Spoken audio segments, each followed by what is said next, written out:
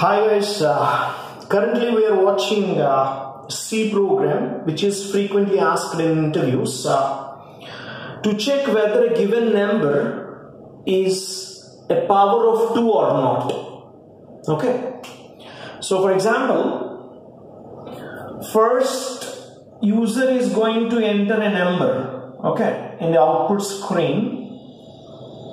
User will be prompted to enter any number.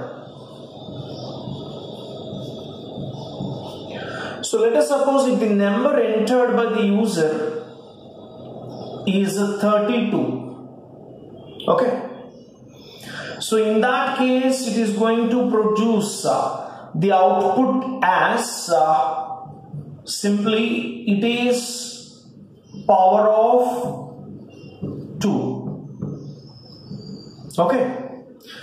So how this is going to work here? Let's check.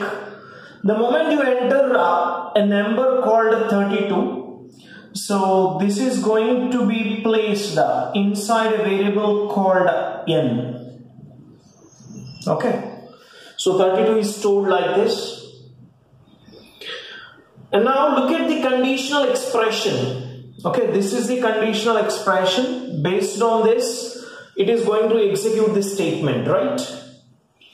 So, if you consider this conditional expression now, n logical and n and n minus 1 double equal to 0. So first we will consider this sub expression that is uh, n and n minus 1 okay. So which is nothing but 32 and 32 minus 1 is 31 so AND operator which is nothing but uh, bitwise operator. Okay. So first consider 32 and its representation. Okay.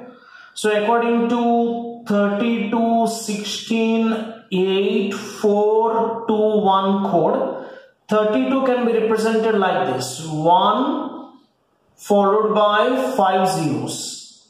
Okay. Now in order to represent 31 here similarly 31 can be represented like this.